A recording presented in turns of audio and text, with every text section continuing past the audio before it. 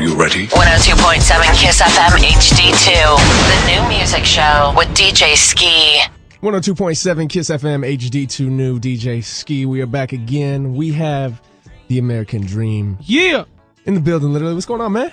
Man, I'm just I'm living it right now. Absolutely, Just living it. We you have more songs in rotation on the show, I think, than any other artist right now. I love it. Congratulations, man. Man, thank you. Thank you so much, man. I'm just gearing up for the next album, Absolutely. What, what's the name of the album? Love versus Money. And when does it come out? March 3rd. So still, you're still a relatively New. new artist. Yes, so I am. Let's New, introduce new. yourself to people that may not know who you are. How would you? I am. Okay. What's your autobiography? All right, this is what it is. My my name is Terius the Dream Nash. Um, I have a list of things. Um, the first record I ever wrote was for B2K in 2002, entitled "Everything" on an album called Pandemonium. How do That's you just kind of get like into? How do you just get into writing records too? I mean, uh, Oh man, it's it's kind of like I, I think it's like when you come to LA when you want to get in films, and you go to New York when you want to deal in finances and stock market, and and right now Atlanta is known for music. So and that's where I'm from. So it's kind of um Mm-hmm. I've been in the band since third grade, so it's kind of easy transition to kind of get over there Okay. and make and extract a little money out yes, yes. of, the, of this business. So um yeah, I've been doing it for a while. I wrote singles like Umbrella, um, uh, "Touch My Body" by Mariah Carey, "Just Fine" by things. Mary J. Blige, "Single Ladies" by Beyonce, "Bed," Usher. Like I'm, I'm I mean I'm I'm everywhere.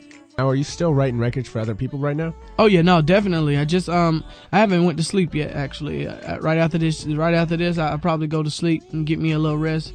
I don't know, man. I've been working on this Mariah Carey thing for the last four days. She, um, we we her working title for this next album, which is what I call it, is MC3, and and it's just, man, I love her. Like like Mariah is, is everything. Like she she's down, she's cool, she gets it. You think that she's this big, she won't like she gets it. She she's all the way in there. So I just told her we got to go back in. You know, like it's not like it used to be. You can wait to come out with an album. I'm like, let's go. You know, let's do it. And so she's up for it. How would you say the sound is on her new album with the songs that you've been working on? Oh man. Um, well, I'm trying to do the whole thing. So um, What direction do you want to take her? She's had, you know, she's evolved a lot and made a lot of different changes. She's you know, good. I, just. I think I think it's about just writing an album that includes the focus of all the hits that she's had. You know, Yeah. you got Endless Love, you got My All, you know, you got We Belong Together, Touch My Body, you got those type of records. It's all about now trying to just make sure you know whatever she does because she can't she can't take a loss. You know, she has to do everything to the T.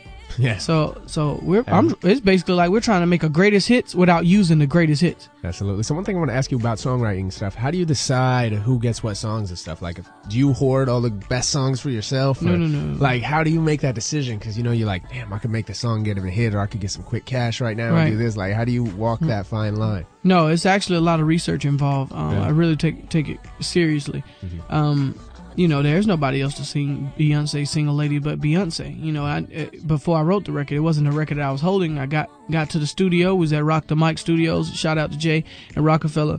Was at was at the studio, and I I arrived there with nothing.